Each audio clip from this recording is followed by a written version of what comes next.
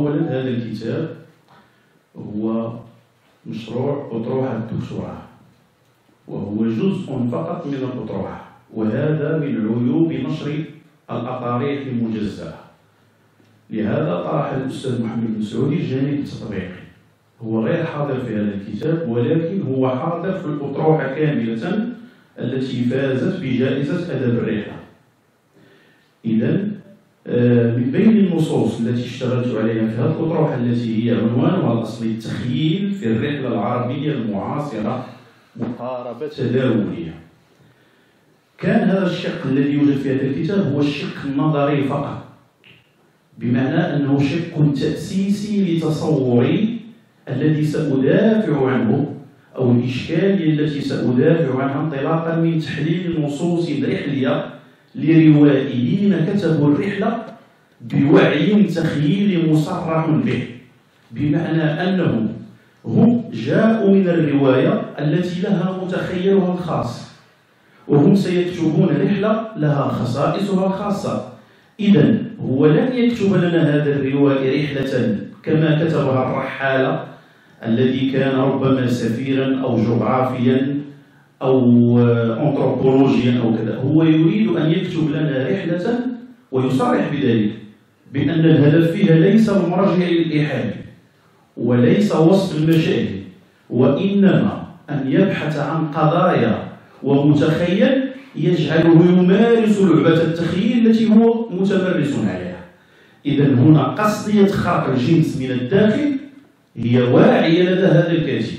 إذا هو ضمنيا عندما يقول بأنني سأكتب نصا رحليا منفتحا ليس تقليديا يهيمن فيه تخيل هو يصرح بأنه سيغير الثابت.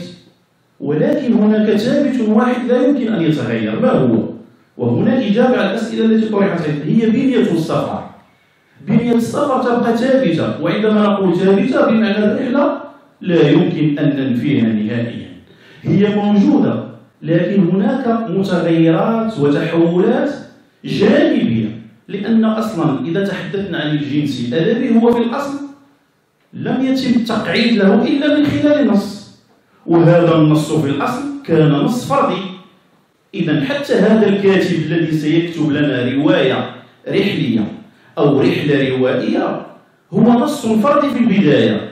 سيتحول لاحقا إلى ظاهرة. وهذا ما جعلنا نحن كباحثين أن نشتغل على هذا الموضوع لماذا؟ لأنه أصبح هناك تراكم في الفترة المعاصرة لمجموعة من الروائيين الذين كتبوا الرحلة بنفس روائي بتصور تخيلي روائي بإشكاليات جديدة بوعي له أفق مختلف عن الرحلة التقليدية الإيحائية المرجعية التوثيقية بلغة رمزية إيحائية تخيلية إذا هنا الثابت هو هو بنية السفر والمتحول هي شكل الكتابة.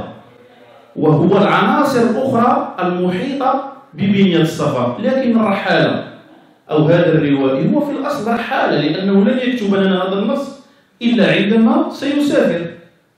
إذا بنية السفر ثابتة الشق الرحلي حاضر لكن السؤال كيف سيقدم هذه الرحلة؟ هل سيقدمها بنفسها التوثيقي المرجعي الإحالي؟ الجواب هو لا. الروائي يصرح بوعي أنه لن يكتب رحلة تقليدية إذا هو تعاقد قرائي وعندما نتعاقد فهو هذا العقد بيننا. أنك ستقرأ هذا العمل على أساس أنه نص منفتح إذا أنا نظمت معك فعل القراءة. في هذه الحالة يجب أن أبحث في هذه النصوص. هل فعلا هذا التعاقد متحقق نصيا؟ فعلا من خلال اشتغالي على أربعة نصوص رئيسة وهذه النصوص لروائيين تمرسوا على التخيل مثلا اشتغلت على نص رحلي لوالد بدر السالم الهندوس يصعدون إلى السماء. جبال الهيمالايا هذا نص أيضا في هذا الكتاب ووالد بدر السالم هو روائي قبل أن يكون رحالة. أيضا اشتغلت على أسفار تخشى الخيال هذا نص رحلي فيه مجموعة الرحلات لشعيب حليبي وأيضا اشتغلت على خليل النعيمي في نصه قراءة العالم وهو يتضمن مجموعة من النصوص الرحلية أيضا اشتغلت على الرحلة إلى بلاد الله وهي رحلة حجية وأنا تعمدت أن أختار رحلة حجية كتبها أحمد المديني. لأرى أيضا حتى النصوص التي هي تدخل فيما يسمى بالرحلات الروحية. كيف تم كتابتها؟ فتبين من خلال تحليل هذه النصوص والتي استغرقت مني كل نص تقريبا أكثر من 50 صفحة بمعنى كتاب ثاني هو الذي سيكون في الاطروحه إن شاء الله. بمعنى ستنشر كاملة وعنوانها الأصلي هو التخييل في الرحلة العربية المعاصرة مقاربة تداوليه هنا سأعود لأذكر فقط بالإشكالية حتى يتم فهم التصور العام الذي اشتغلت عليه. الإشكالية تقوم على أن الروائي الذي جاء إلى عالم الرحلة هو محمل بالمتخيل له خصوصياته وبالضرورة سيترك مجموعة من الأثار ويحقق مجموعة من الإبدالات على مستوى الشكل الرحلي. وهذا ما عملنا على الوقوف عنده من خلال الاشتغال على نصوص رحلية لروائيين صرحوا في مقدمات نصوصهم الرحلية بأنهم لن يكتبوا النصوص الرحلية التقليدية وإنما اختاروا افاقا جديده تحتفي بالتخييل لا بالتوثيق ولا بالمرجعي وبطبيعه الحال وضعنا فرضية نقول أو تقول بأن النص الرحلي لا يشكل استثناء على مستوى التحول الذي تخضع له الأجناس الأدبية عبر تاريخها الطويل وهذا ما اجتهدنا لابرازه من خلال تتبع مسارات التحول التي عرفها النص الرحلي هذا التحول الذي ترك بصماته الخطابية والدلالية على شكل ومضمون الرحلة. واعتبرنا أن الرحلة المعاصره تعرف اهتماما من الروائيين بالنص الرحلي حيث أقبلوا على كتابته بوعي متجدد وأفق ابداعي تخيلي. وبطبيعة الحال هذا ما أشرنا إليه. ثم آه نتحدث عن واعتبرنا التخيل في هذا الإطار عنصرا مؤثرا ولهذا أعطينا عنوان التخيل في الابدالات التي لاحقت الرحله على اعتبار أن الروائي جوهر الشغالي هو التخيل لاحقت الرحلة العربية التي أصبحت تجمع بين الرحل والروائي ولهذا اخترنا كشكل جديد وهو ما أعطيناه اسم رواية الرحلة أو رواية السفر أو الرحلة الروائية. ولماذا هذه التسمية؟ أصبح لأن آه، الروائي أصبح حاضرا بطابعه التخيلي داخل المسرح المعاصر.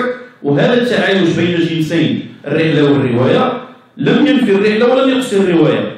من حضورها داخلها خاصة أن التصريح والتوجيه القرائي من الروائي كلها محددات أساس في تنظيم عملية التلقي هذا فيما يتعلق بالنقطة الخاصة بعملية التسمية. أيضا تكررت قضية هوية أجناسية ومسألة صفاء الجنس. ليس هناك جنس خالص ولكن من خلال بحثي في هذا الموضوع تبين لي أن الأجناس الأدبية تعرف تخصيما وتفاعلا مع بعضها وتؤثر أيضا في بعضها لأن خصائص أي جنس أدبي آه تم الوقوف عندها من خلال نصوص فردية وهذا ما شرت إليه بداية.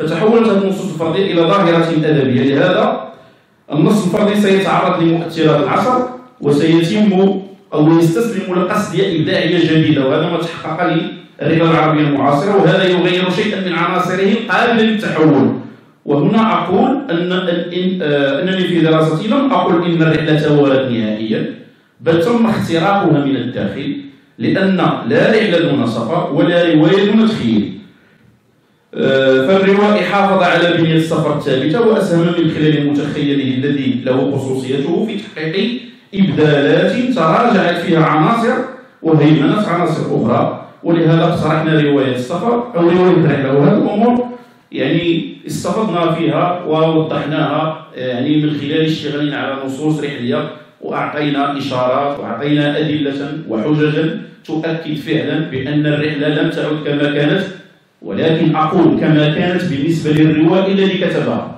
حتى لا نقول بأن الرحلة لم تعد تهتم بالمرجعين لأن هناك من يكتبها بطريقة تقليدية. أنا أتحدث فقط عن الذين صرحوا بأنهم يخترقونها من الداخل ويكتبونها بنفس روائي لا أعمم أنا أشتغل على الروائي الذي كتب الرحلة بوعي متجدد مصرح به.